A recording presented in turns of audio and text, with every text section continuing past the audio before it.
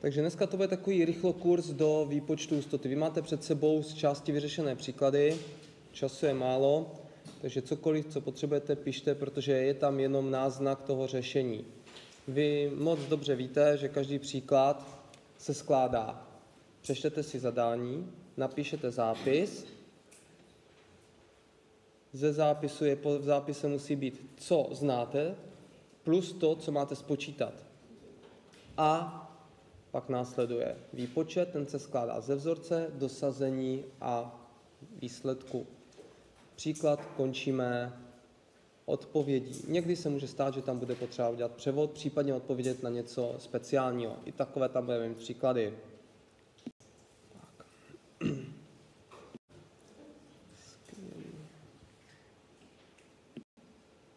Výborně.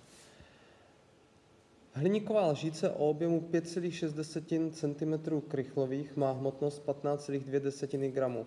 Urči hustotu hliníku, výsledek zaokrouhli na dvě desetiná místa, čísla a porovnávej, porovnej údaj s tabulkovou hodnotou. Pokud se liší vypočítaný údaj s tabulkovým, vysvětli proč.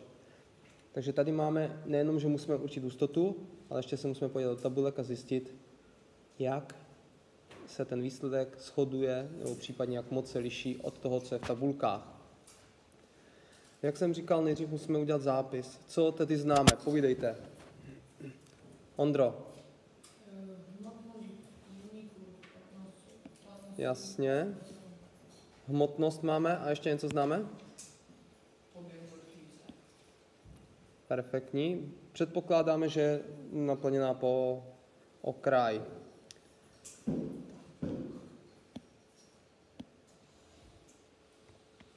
A co máme určit?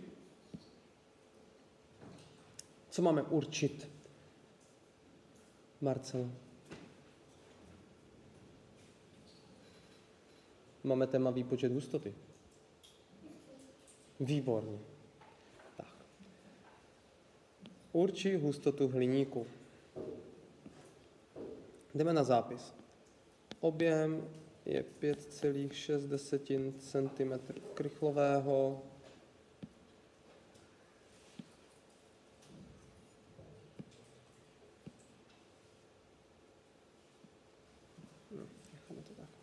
Hmotnost máme potržených 15,2 gramů, máme spočítat hustotu. V čem nám ta hustota vyjde?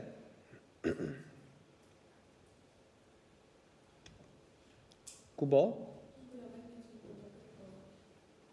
Přesně, jestliže máme zadané gramy, centimetry krychlové, vyjde nám hustota v gramech na centimetr krychlových. Klidně pište x místo otazníku, tak jak pokud jste na to zvykli z matematiky, je mi to jedno, zkrátka, aby tam bylo vidět, že to je neznámá a v čem by nám to mělo výjít. Vzorec. Kdo si pamatuje vzorec pro výpočet hustoty? Všichni ho byste měli mít sešitě. Solko?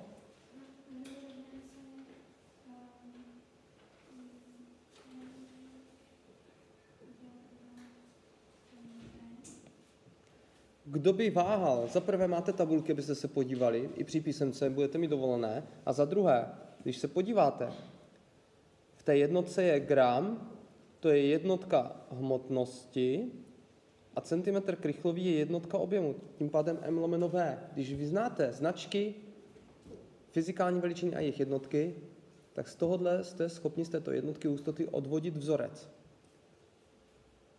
Když si ho nebudete pamatovat, anebo je to rychlejší než hledat v tabulkách, nicméně alespoň, když byste si ho našli v tabulkách, tak taky super. Vyznat se v tabulkách je zkrátka dobré. Můžeme dosadit. Máme to v těch požadovaných jednotkách, nemusíme nic převádět v zápise a dosadíme hmotnost 5,6.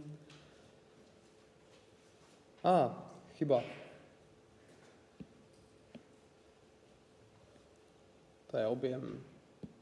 Hmotnost 15,2 lomeno objem 5,6. Má už někdo výsledek? Nemá? No tak. 15,2 desetiny děleno 5,6 desetin. Kalkulačky jsou dovolené.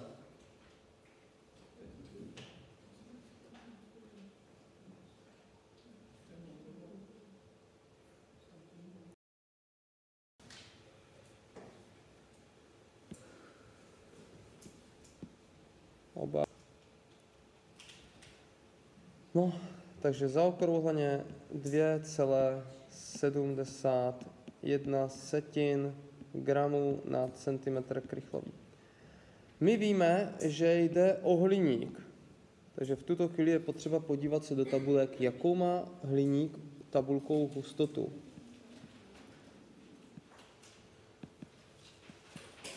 Jen tak mimochodem, zná někdo značku chemického prvku hliník? Pokud ne, budete se učit příští rok.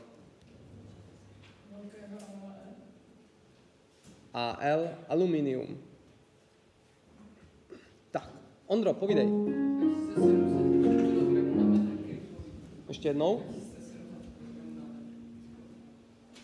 Mhm. 2700 kg na metr krychlový. Tím pádem, abychom to mohli srovnat, tak je, nebo vhodně, tak je dobré znát tu hustotu převést na kilogramy na metr krychlový.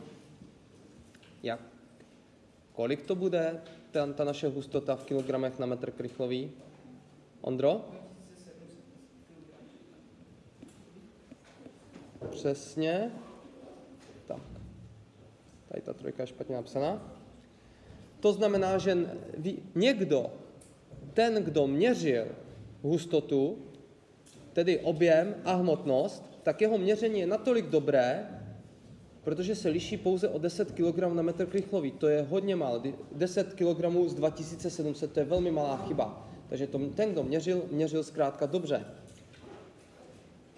Uh, samozřejmě odpověď.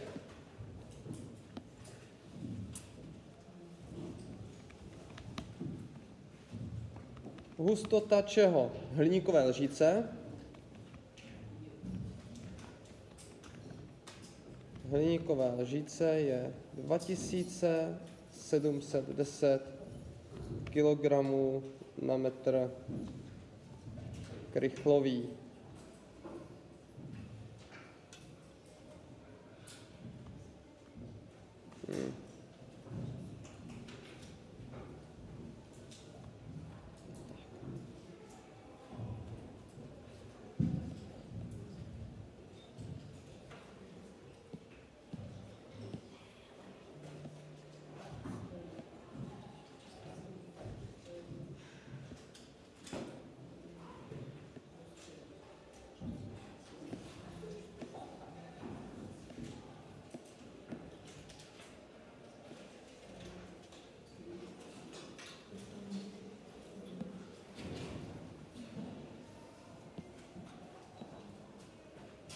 No, spárovalo se mi to.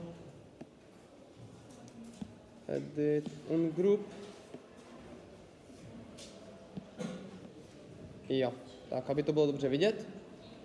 Tímhle způsobem se hustota počítá.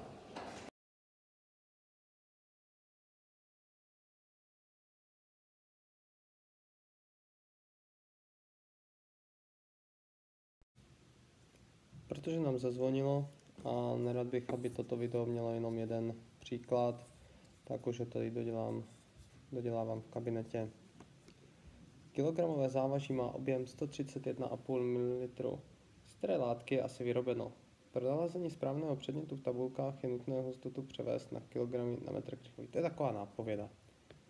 Tady ještě opravím zadání.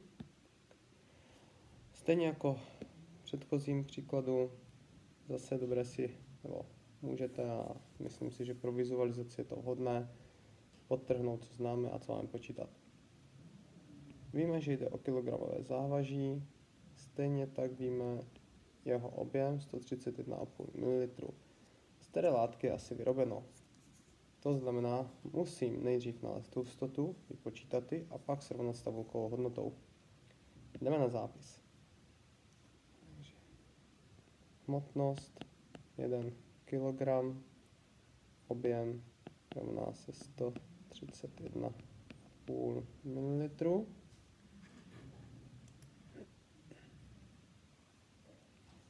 Máme najít hustotu a pak samozřejmě látku.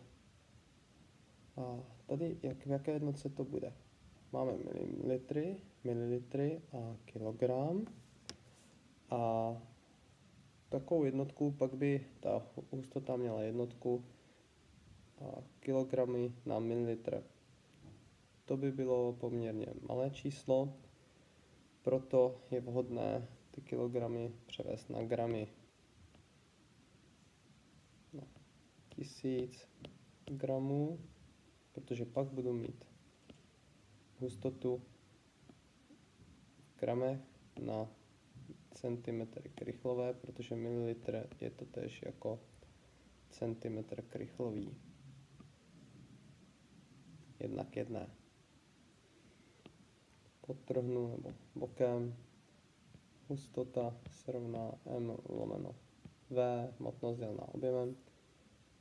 Po dosazení 1000 děleno 131,5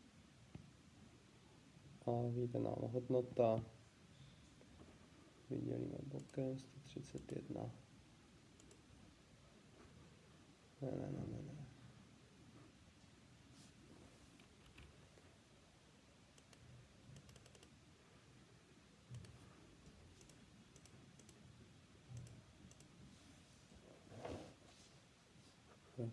se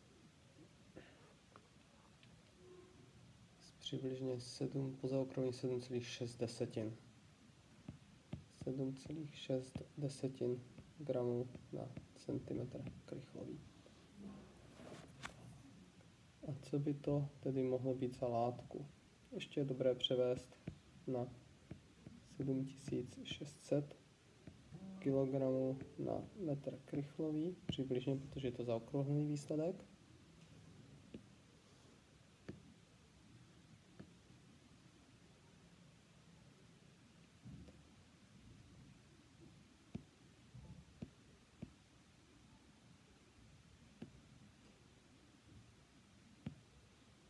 Hodím menu. Skvělý. Takže nezbývá jít než jít do tabulek. Teďka přepnu kameru. Vložím druhé video. Tentokrát s, po, s převráceným pohledem na tabulky.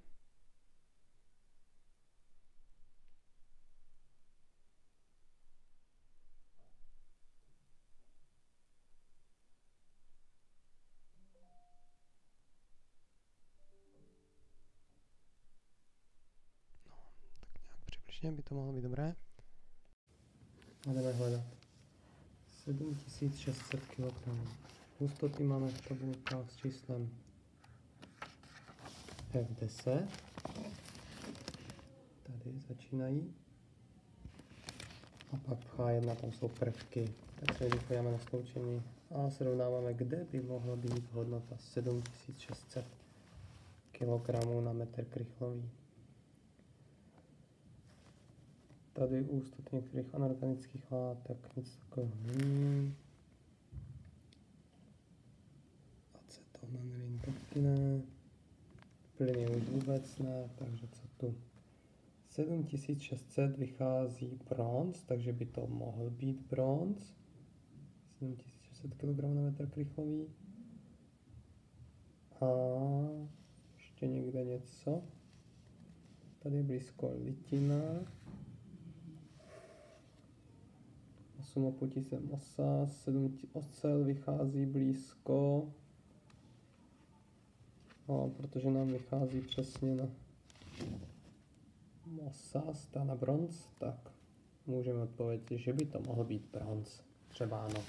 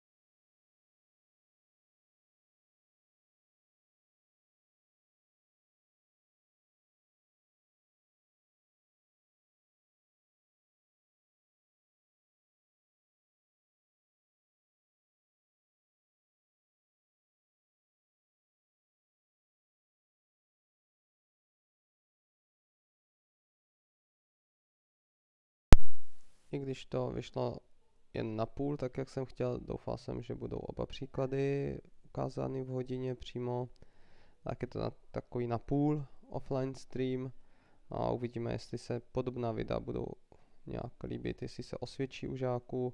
Myslím si, že pro ty, co nejsou ve škole, by to mohlo být zajímavé, protože je to tak trošičku, jako kdyby v té třídě viděli, byli a byli naživo. Zároveň tak máte možnost uh, slyšet, jak reagují žáci, jestli vůbec třeba reagují, nebo kolik z nich reaguje na dotazy, které mám. To mi přijde taky jako velmi zajímavé. Většinou bývá hrobové ticho. Tak snad u některého dalšího streamu a možná i časem i u online. Naschledanou.